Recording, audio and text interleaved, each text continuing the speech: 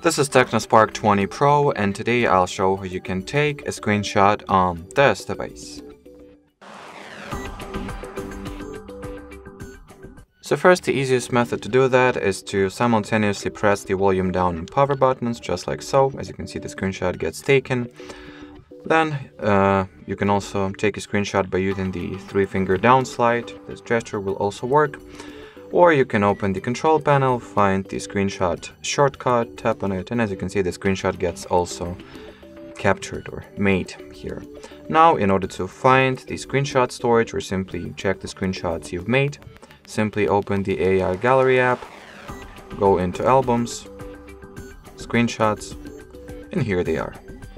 So that'll be it for this video, thanks for watching and bye bye.